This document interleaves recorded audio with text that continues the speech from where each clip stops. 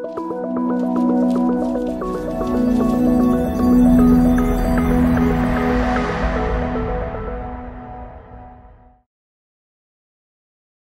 மாகடல் நிலம் வானிலுன் அணி மாளிகை ரதமே அவை ஏறிடும் விதமே உனது அதிகாரம் நிறுவுவாய். கொலைவாளினை எடடா மிகு கொடியோர் செயல் அறவே குகைவாழ் ஒரு புலியே உயர் குணமேவிய தமிழா என்ற பாரதிதாசனின் தமிழ் முழக்க வரிகளுக்கு ஒப்பானவன். இருபத்து ஒன்பது ஆண்டுகளே ஆண்டும் கூட தமிழ் மண்ணின் பெருமையை உலகறியச் செய்த ஒரு ஒப்பற்ற தலைவன் அரசர்களுக்கெல்லாம் அரசன் என்ற புனைப்பெயர் கொண்டு வாழ்ந்தவன் தென்னிந்திய வரலாற்றின் பொற்காலத்தை கொடுத்தவன் தமிழ் கட்டடக்கலைக்கு பெருமை தேடித்தரும் கலை கருவூலத்தை செதுக்கியவன்.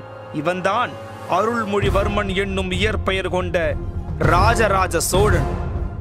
கல்லணையை கட்டிய கரிகாலனுக்கு பிறகு நலிந்து போன சோழ வம்சம் திரும்பவும் சோழ அரியணையை கைப்பற்றியது விஜயாலய சோழனின் காலத்தில்தான்.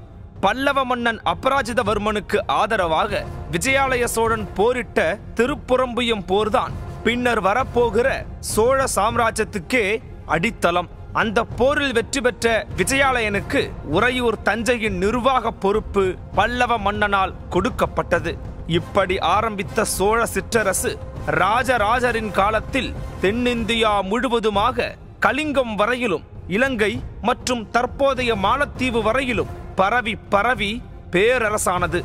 எல்லா அரச வம்சங்களைப் போலவே பல வாரிசு உரிமைகள் பிரச்சனைகளை தாண்டி தனது கைக்கு வந்த சோழ அரசை பேரரசாக்கிய பெருமை அருண்மொழிவர்மனாகிய ராஜராஜனையே சாரும். ராஜராஜனின் முதல் போர் வெற்றி அவர் பதவியேற்று நான்காண்டுகள் கழித்து காந்தலூர் சாலை போரிலிருந்து துவங்குகிறது. தமையன் ஆதித்த கரிகாலனின் கொலையில் சம்பந்தப்பட்ட சதிகாரர்கள் காந்தலூர் சாலையில் ஒரு கடிகையை ஏற்படுத்தி அங்கிருந்து ராஜராஜனுக்கு எதிராக ரகசியமாக படை திரட்டி போர் பயிற்சியும் அளிக்கிறார்கள்.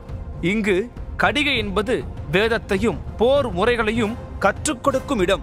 இதை முறியடிக்கவே காந்தலூர் சாலை படையெடுப்பு நிகழ்ந்ததாக வரலாற்று புதினங்கள் விவரிக்கின்றன. உண்மையில் சமாதான தூதுக்குச் சென்ற சோழ நாட்டு தூதுவனை குடமலை அரசன் சிறைபிடிக்கிறான். அதில் ஆத்திரமடைந்த ராஜராஜன் குடமலை மீது படையெடுத்து வெல்கிறார். மீதமுள்ள சேர நாட்டையும் கைப்பற்ற கருதி காந்தலூர் சாலை மீது படையெடுத்து வெற்றி கொள்கிறார். இந்த போரில் பாண்டிய மன்னன் அமரபுஜங்களையும் அவர் வெல்கிறார். அமரபுஜங்களை தோற்கடித்ததன் அடையாளமாக பாண்டிய குலாசனி என்ற புதிய விருது பெயர் அவர் மெய்கீர்த்தியில் சேர்கிறது. ஒரு போர் வெற்றிக்கு ஒரு பட்டப்பெயராக அவருக்கு நாற்பது விருது பெயர்கள் உள்ளன. ராஜராஜனுக்கு முன்பு இருமுடி சோழர்கள் இருந்தார்கள். பாண்டியனை ராஜராஜன் வென்ற பிறகு மும்முடி சோழர் என்ற பட்டம் ராஜராஜனுக்கு வழங்கப்பட்டது. கன்னட நாடு வேங்கை நாடு ஆகியவற்றை வென்றது சோழர் படை. ராஜராஜனின் பெண்ணான குந்தவையை கீழை சாளுக்கிய மன்னனான சக்திவர்மனின் தம்பி விமலாதித்தனுக்கு மனம் செய்து கொடுத்து கீழை சாளுக்கியம் சோழருக்கு எதிராக திரும்பாமல் பார்த்து கொண்ட ராஜராஜனின் பார்வை மேலை சாளுக்கியம் பக்கம் திரும்பியது. சுமார் ஒன்பது லட்சம் படை வீரர்களோடு மேலை சாளுக்கியத்தின் மீது படையெடுத்து அவர்களை மீண்டும் தலையெடுக்க விடாமல் வென்று அங்கிருந்து ஏராளமான செல்வத்தையும் அடிமை போர் வீரர்களையும் அள்ளிக்கொண்டு தஞ்சை பக்கம் திரும்பியது. இலங்கை மன்னர் ஐந்தாம் மகிந்தனுக்கு எதிராக அங்கு இராணுவ புரட்சி ஏற்பட்டது. அதை தனக்கு சாதகமாக பயன்படுத்தி கொண்டு தன்னுடைய பலம் பொருந்திய கடற்படையை பயன்படுத்தி மகிந்தனை வென்று அவன் கட்டுப்பாட்டில் இருந்த அனுராதபுரத்தை அழித்தொழித்து பொலனறுவையை தலைமையகமாக மாற்றி அதற்கு ஜனநாத மங்கலம் என்று புது பெயரையும் சூட்டி தன் புலிக்கொடியை நட்டு பறக்க விட்டார்.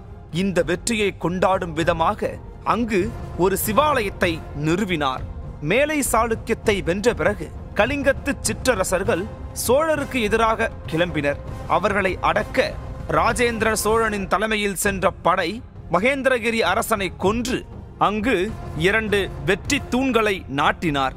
அப்போதைய முன்னீர் பழந்தீவிற்கும் இப்போதைய மாலத்தீவிற்கும் இடையில் நடந்ததுதான் ராஜராஜனின் ஆட்சியில் நிகழ்ந்த இறுதிப் போர்.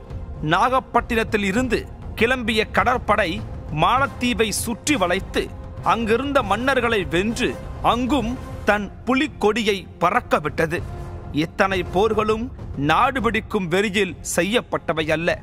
இவர்களை விட்டு வைத்தால் நாளை அவர்கள் சோழ பேரரசுக்கு பெரும் தலைவலியாக வந்து சேருவார்கள் என்பது ஒன்று.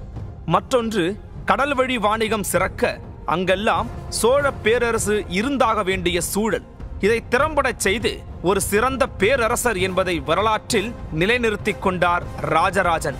ராஜராஜனின் பெயரை இந்த உலகம் உள்ளளவும் சொல்லும் ஒரு கலை படைப்பு தஞ்சை பெருவுடையார் கோவில். மிகப்பெரிய லிங்கம் அதற்கு தகுந்த ஆவுடையார் மிகப்பெரிய நந்தி எண்பது டன் எடையுள்ள விமானம் என எல்லாமே பெரிதுதான் இங்கே. காஞ்சியில் பல்லவ மன்னர்களால் கட்டப்பட்ட கைலாசநாதர் கோவிலை கண்டு வியந்த ராஜராஜன் தஞ்சையில் இப்படியொரு சிவாலயம் எழுப்ப வேண்டும் என்று பெருங்கனவு கண்டார். அதன் விளைவே தஞ்சை பெருவுடையார் கோவில். மேலை சாளுக்கியத்திலிருந்தும் மற்றும் பல போர்களிலிருந்தும் அள்ளி வந்த பெருஞ்செல்வத்தை கொண்டும் அங்கிருந்து அழைத்து வந்த போர் கைதிகளின் ஆள் பலத்தை கொண்டும் இக்கனவை அவர் நிறைவேற்றினார். தஞ்சை பகுதி முழுதுமே சமவெளி மருந்துக்கும் மலைகள் கிடையாது. தேவையான அத்தனை கற்களையும் திருச்சி நார்த்தாமலை திருவக்கரை பகுதிகளில் இருந்து கொணர்ந்து இந்த மகாமேருவை தஞ்சையில் நிறுவினார். கோயில் கட்டுமானத்தில் செங்கல் இல்லை மரம் இல்லை. எல்லாமே கருங்கல். இத்தகைய பொறியியல் திறம்பெற்ற தச்சர்கள் அன்றைய தமிழகத்தில் இருந்திருக்கிறார்கள். தஞ்சை பெரிய கோவிலை கட்டிய தலைமைச் சிற்பி குஞ்சரமல்ல பெருந்தச்சன். தஞ்சை பெரிய கோவில் கட்டுமானம் பற்றிய ஒவ்வொரு செய்தியும் கல்வெட்டுகளாக பதிக்கப்பட்டுள்ளன.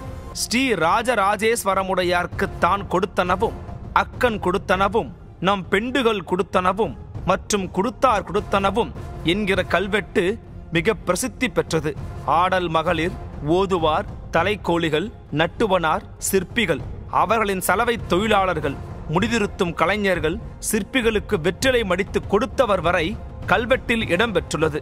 அந்த மாபெரும் பணியின் பெருமையை தான் மட்டுமாக எடுத்துக்கொள்ள விரும்பவில்லை அந்த மாமன்னர். கல்லணையை கட்டிய கரிகாலனின் வழித்தோன்ற என்பதை சோழ நாட்டில் தான் மேற்கொண்ட நீர் மேலாண்மை மூலம் தெரியப்படுத்துகிறார். நீர் பங்கீடு நீர்நிலைகளை உருவாக்குதல் தூர்வாரி பராமரித்தல் ஆகியவற்றை செய்ய நீர் வாரியம் அமைத்தது பராமரித்தது அந்தந்த கிராம சபைகள்தான். சென்னைக்கு நீர் கொடுக்கும் வீராணம் சோழர் காலத்தில்தான் அமைக்கப்பட்டது. காவிரியின் கிளையாறுகள் மற்றும் இந்த ஏரிகளை தஞ்சையை நெற்களஞ்சியமாக்கியதற்கும் சோழவளநாடு சோறுடைத்து என்ற பெருமை ஏற்படுவதற்கும் காரணம். ஆட்சி நிர்வாகத்தில் தன்னுடைய மூதாதையர் கொண்டு வந்த குடவோலை முறையினையே சீர்திருத்தி மறு உருவாக்கம் செய்து அமல்படுத்தியிருந்தார். உழுபவருக்கு நிலம் சொந்தம். உழுபவர் உழும் காலங்களில் மட்டும் அரசாங்கத்துக்கு வரி செலுத்த வேண்டும். உழவுக்கு நிலத்தை பயன்படுத்தாத காலங்களில் வரி தேவையில்லை என்பது போன்ற பல திட்டங்களை இவர் உருவாக்கியிருந்தார். தமிழ் வாழும் காலம் தொட்டும் ராஜராஜனின் பெயரும் புகழும் வாழும் நிலைக்கும்.